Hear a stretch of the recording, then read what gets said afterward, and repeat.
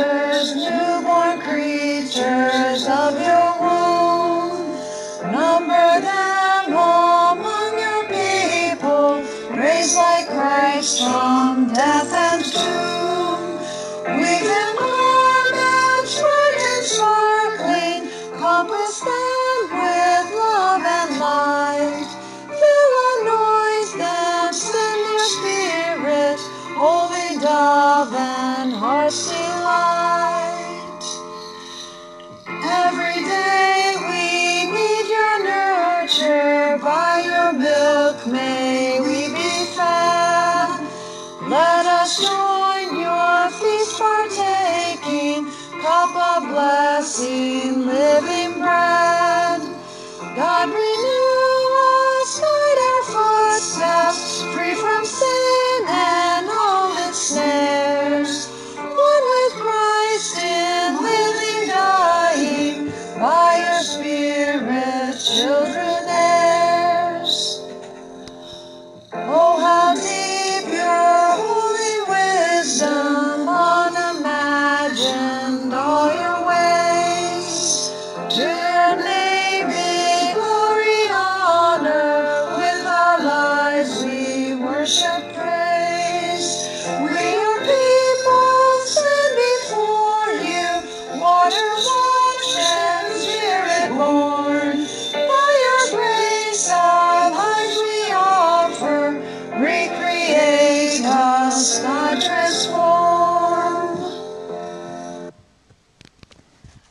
together now our call to worship.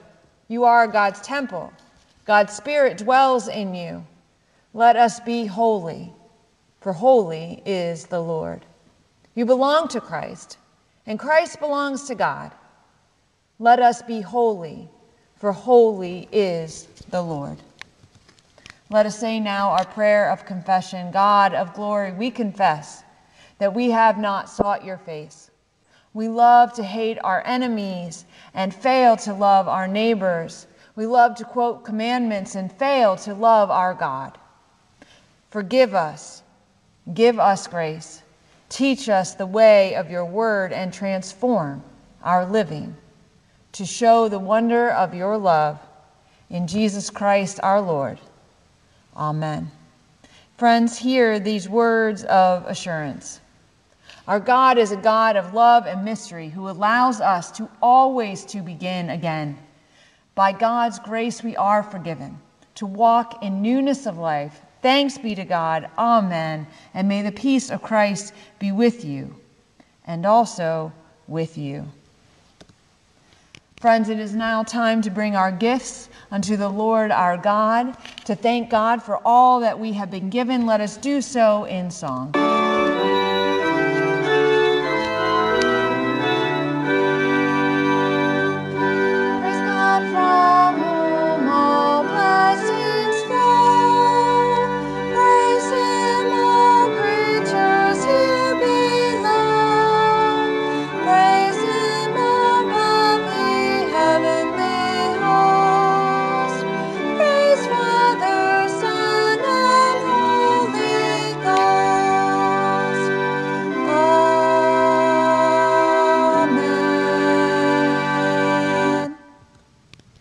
I just want to take a moment with our young disciples today. Romans chapter 3, verse 23 says, All have sinned and come short of God's glory. So today I just want to talk to you a little bit about sin. Just a reminder that none of us are perfect people. You're not perfect. I'm not perfect. Your parents aren't perfect. Your teachers aren't perfect. Your friends aren't perfect. We all have imperfections. And sometimes people, we talk, when we talk about those things in the church, we talk about it in terms of sins. Now, we don't mean flaws, we mean sins, those things that turn us away from God. And sometimes you might hear somebody say, well, that's just, that's just a little white lie. That's just a little that's just a little sin. And that over there is a big sin. But the truth is, the Bible doesn't say big sin, little sin. Sin is sin. When we turn from God, we turn from God.